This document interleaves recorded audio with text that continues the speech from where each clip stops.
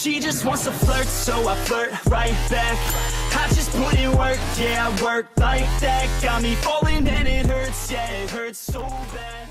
Was geht, Freunde, und willkommen zur MTG-Episode Nummer 13. Keine Sorge, ihr habt den Videotitel gelesen. Morgen am Mittwoch gibt es natürlich auch ein Video mit meinen Kaufempfehlungen für die Länderspielpause. Aber ganz wichtig, Freitag, Samstag, Sonntag gibt es nochmal die Kaufspecials. Da werden wir nochmal explizit auf alle Mannschaften eingehen.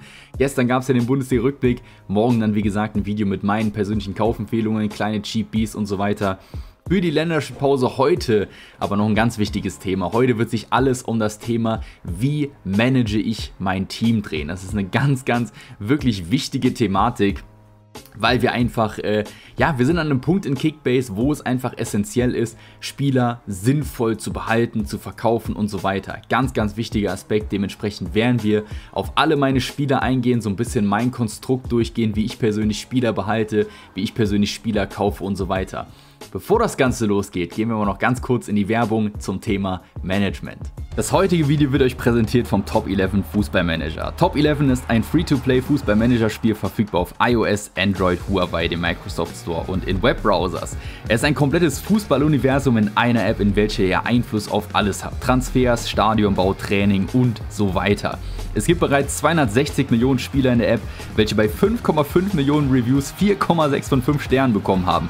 Ich würde also klar sagen, dass es hier eine Download-Empfehlung ist. Besonders cool finde ich das gemeinsame Spiel mit Freunden, Meisterschaften, die Stadionanpassungen, das Sammeln von Trikots und vor allem die Optik der App. Die ist wirklich wunderschön. Ebenfalls möchte ich noch das 3D-Feature erwähnen, in welchem ihr eure Taktiken, die ihr selber bestimmen könnt, zur Schau stellen könnt und durch eure Managerentscheidungen das komplette Spiel verändert werden kann. Ihr seht es auch gerade hier in dem Beispiel, ich habe auf kurze Pässe umgestellt, was letzten Endes dafür gesorgt hat, dass ich noch das finale, letzte, abschließende Tor gemacht habe, weil ich davor erkannt habe, dass der Gegner auf kurze, schnelle Kombinationen nicht klarkommt. Ebenfalls könnt ihr in der Liga den Pokal der Champions League sowie der Super League antreten und euren Verein an die Spitze führen. Wattne Bude übrigens hier von meinem Star Stürmer Unfricht, bester Mann, der hat bis jetzt komplett rasiert für mein Team. Probiert die App gerne aus, macht wirklich mega viel Spaß, ich kann sie euch nur ans Herz legen und jetzt geht's weiter mit dem Video. Probiert Top 11 gerne aus, ich spiele die App schon sehr, sehr lange, macht mir tatsächlich auch riesig viel Spaß, von daher habe ich mich wirklich gefreut, dass die Jungs mir da eine Kooperationsanfrage geschickt haben. Könnt ihr gerne ausprobieren, der Link ist sowohl im angepinnten Kommentar als auch der oberste Link in der Videobeschreibung. So, zurück zu Kickbase. Wie manage ich jetzt mein Team? Wie kriege ich das sinnvoll über einen langen Zeitraum gemanagt. So, dann müssen wir uns zuerst die Frage stellen, was bedeutet überhaupt Management? Denn ihr könnt auch einfach das Team, das ihr habt, solange die Spieler nicht verletzt sind, könnt ihr sie theoretisch gesehen einfach halten. Ein guter Kickbase-Manager macht das natürlich nicht. Für die erfahrenen Manager ist das keine Überraschung, gerade aber für die neuen Manager natürlich umso wichtiger. Es geht in Kickbase prinzipiell darum, sein Team immer up-to-date zu halten. Spieler wirklich immer zu upgraden, zu downgraden, zu ja, auszutauschen, wenn ihr merkt, die performen einfach nicht. Ein Aspekt, den ich letztes Jahr auch immer wieder verkehrt gemacht habe, Spieler viel zu lange zu halten. Und da kommt einfach dieses In-Game-Management von Kickbase in Frage. Das bedeutet, wir schauen uns unsere Spiele an. By the way, ich produziere das Video vor, von daher nicht wundern, wenn mein Kader und die Marktwerte nicht stimmen, aber das ist für, den, für das Video an sich ist irrelevant. Ähm, wie behalte ich Spieler oder wie strukturiere ich meinen Kader? Prinzipiell fange ich persönlich immer an mit meinen Säulen. Säulen sind Spieler, die ihr persönlich nie verkauft. Das macht einfach keinen Sinn, diese Spieler abzugeben, auch wenn die mal schlechte Spiele haben, auch wenn die mal eine schlechte Phase haben. Wenn ihr von diesen Säulen, von diesen tollen Spielern überzeugt seid, dass sie auf Dauer einfach gut performen werden, dann macht es, wie gesagt, einfach überhaupt gar keinen Sinn, diese zu verkaufen. Beispielsweise wäre das bei mir Anthony Modest. Den werde ich nicht abgeben. Ich weiß, ich, ihr wisst jetzt, wie er am Wochenende gespielt hat. Ich weiß noch nicht. Ich produziere das Video quasi eine Woche früher vor. Ähm, ist einfach ein Spieler, selbst wenn er jetzt am, am Wochenende gegen Schalke nicht performt hat, er ist der BVB-Stammstürmer und auch wenn er singt ohne Ende, und das tut er aktuell, wie gesagt, das kann sich geändert haben, er singt ohne Ende, aber mir ist vollkommen egal, wie doll er singt. Ich bin von ihm überzeugt, solange bis Aller fit ist, und das kann noch sehr lange dauern, im Normalfall bis zur Rückrunde mindestens, wird Anthony Modest spielen und von daher ist er für mich jemand, den ich eigentlich unter keinen Umständen abgeben werde. Dasselbe gilt natürlich für Joshua Kimmich, der beste Spieler in der App, klare Kiste.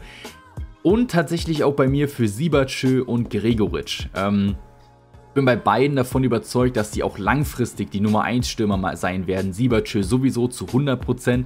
Da ist ein bisschen die EL-Rotation ein bisschen kritisch, aber auch da dürfte er eigentlich größtenteils immer seine Spielanteile bekommen.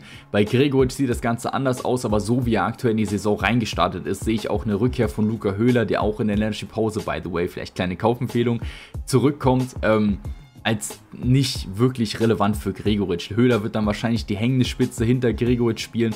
So gut und vor allem so wichtig wie Gregoritsch für das Spielsystem von SC Freiburg ist, wird der nicht rausrotieren. Das sehe ich zu 100% so. Dementsprechend Kimmich, Siebertschö, Modest, Gregoritsch, die können fallen und nicht performen, wie sie wollen. Die werde ich niemals abgeben.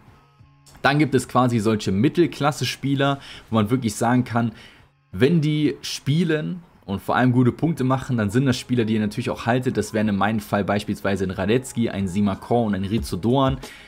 Da würde ich aber schon ein bisschen kritischer das Ganze ansehen. Also wenn die mal wirklich über mehrere Wochen schlecht performen und ihr merkt so ein bisschen, sie kommen nicht ins Spiel rein, sie kriegen wirklich nicht ihre Minuten oder sonst was, würde ich die natürlich auch abgeben. Aber auch hier ist die Tendenz noch relativ gering, dass ich sagen würde, okay, die gebe ich ab. Da muss schon viel passieren, dass ich die Spieler letzten Endes auch verkaufe. Anders ist das Ganze und dann kommen wir zum interessanten bei, äh, Punkt. Wenn ihr Manager seid, der schon ein komplettes Team stehen habt, mit dem ihr allen zufrieden seid, dann müsst ihr recht wenig machen. Aber im Normalfall gibt es immer teure Spieler in eurem Team, die Big Boys, die eben genannten Stützen. Und dann gibt es nochmal Spieler, die wirklich austauschbar sind. Das wären in meinem Fall ein Matriacani, ein Holtmann, vielleicht ein Wimmer und ein Reveleo. Proveleo behalte ich nur Matchup-basiert. Was heißt Matchup-basiert? Ich schaue mir beim Spieler persönlich an, wie die nächsten Spiele aussehen. Das wären in dem Fall Bayern. Ihr habt das Spiel schon gesehen. Ich weiß noch nicht, wie es ausgegangen ist. Schalke und Wolfsburg.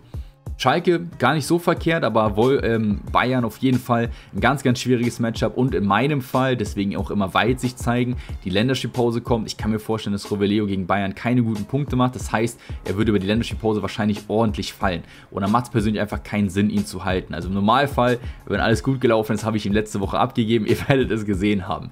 Ähm, Genau dasselbe gilt auch bei Holtmann.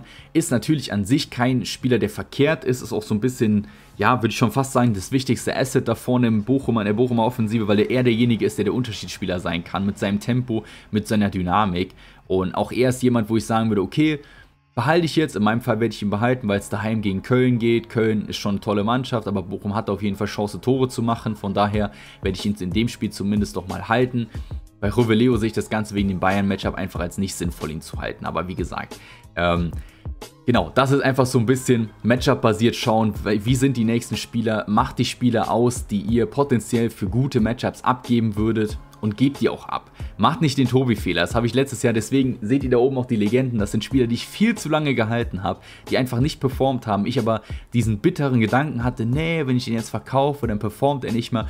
Ihr müsst auch ein bisschen radikal in Kickbase sein, auch wenn es schwierig ist, es ist super wichtig, dass man eben auch dann letzten Endes auch durchgreift und sich die Spieler dann eben auch von der Mannschaft weghaut, um eben andere Spieler zu ersetzen. Ähm, Genau, so viel dazu. Das ist so das grobe Konstrukt, wie ich da vorgehe. Also jetzt im Normalfall eine normale Woche bei mir wäre, ich beachte Siebertschö, Modest, Gregoritsch, im Normalfall auch äh, Doan und Simakor, natürlich auch Kimmich nicht. Und versuche einfach die Position, Radetzky im Normalfall auch nicht, wenn ihr einen relativ soliden Torwart habt, dann behaltet ihr den. Im Normalfall schaue ich mir also Riveleo, Matriacani, Holtmann und Wimmer an und schaue da ein bisschen, ob ich da bessere Spieler bekommen kann. Das wäre in meinem Fall zum Beispiel, ich habe es jetzt nicht, oder ich werde es wahrscheinlich nicht tun, aber beispielsweise den Gamble eingehen, einen Fulgini zu holen. Wird zwar fallen ohne Ende, hat aber ein Heim-Matchup gegen die Hertha. Da könnte es zum Beispiel Sinn machen, den für einen Gerrit Holtmann auszutauschen. Das wäre zum Beispiel so ein Trade mit ein bisschen Weitsicht, dass ihr eben perspektivisch gesehen am sinnvollen, sinnvollsten managen könnt.